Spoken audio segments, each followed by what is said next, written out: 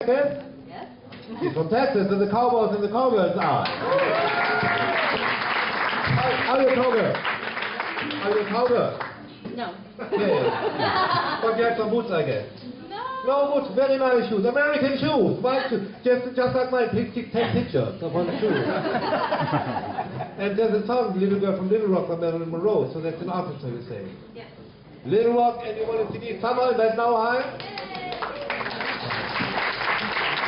And sticker. Put it somewhere in Texas. Oh, she speaks fluently German. Thank you.